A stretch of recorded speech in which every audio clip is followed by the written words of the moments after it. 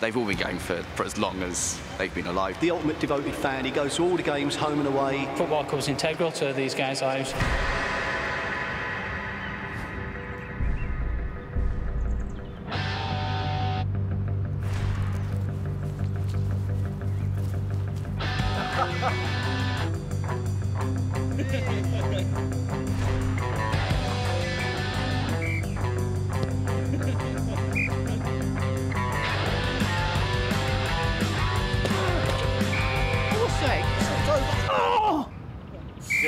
My ham's gone.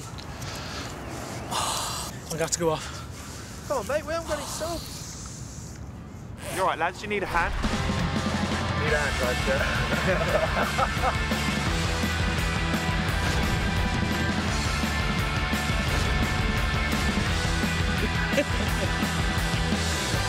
I didn't expect this.